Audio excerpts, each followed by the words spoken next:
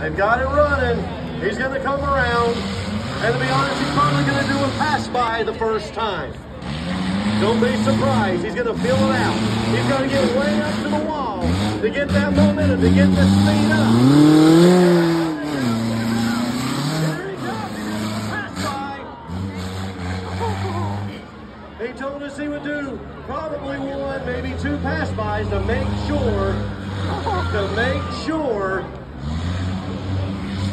the speedometer gets to that mark.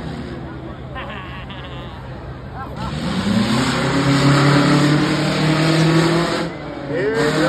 Here comes the one.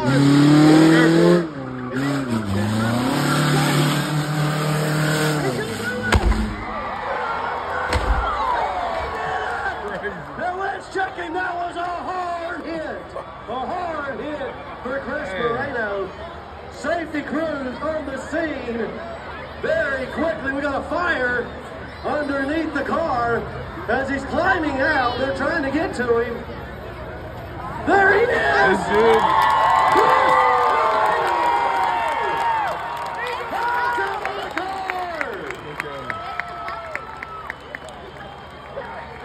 Let's hear it!